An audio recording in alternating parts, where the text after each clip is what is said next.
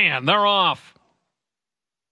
Hostile takeover, relentless eagle on the inside. The best starts. Whoopah's trying very hard. Then comes Asher trying to recover from a bobble at the start. It's relentless eagle with a narrow lead. Asher is right there up on the outside. Hostile takeover. Asher from between.